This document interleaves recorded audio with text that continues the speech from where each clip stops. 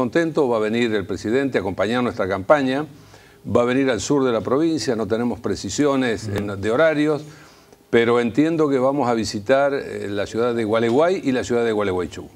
Y esto de alguna manera es una, bueno, una muestra del compromiso de todo Cambiemos con nuestra campaña en Entre Ríos. La propuesta de Cambiemos eh, básicamente apunta a dinamizar, a, desarrollar, a, darle este, energías al desarrollo de Entre Ríos.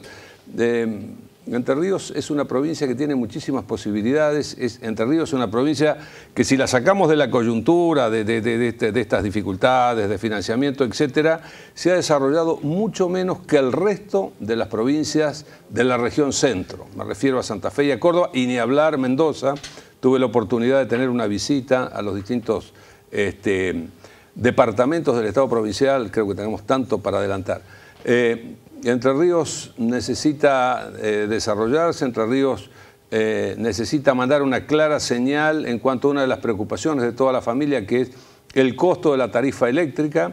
Es una paradoja, tenemos Salto Grande y tenemos una de las energías más caras del país. Mm. Y esto sin desconocer que el gobierno nacional decidió sacar los subsidios de la energía y por supuesto este, se ha incrementado significativamente.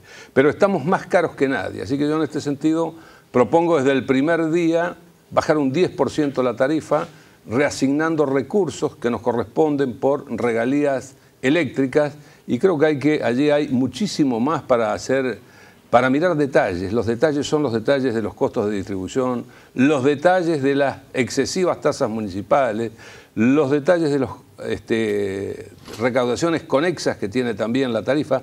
Así que me parece que esto es un tema básico porque es un tema de infraestructura. Mm. Y hablando de infraestructura, necesitamos, la verdad, eh, que vialidad eh, provincial esté a la altura de las circunstancias. Yo no, no estoy diciendo ninguna novedad que vialidad provincial ha fracasado en su meta, en su tarea, en su misión de resolver la extensa red vial secundaria, los caminos de la producción de Entre Ríos o los caminos que necesitamos para el desarrollo de las distintas actividades están peor hoy que hace 10 años.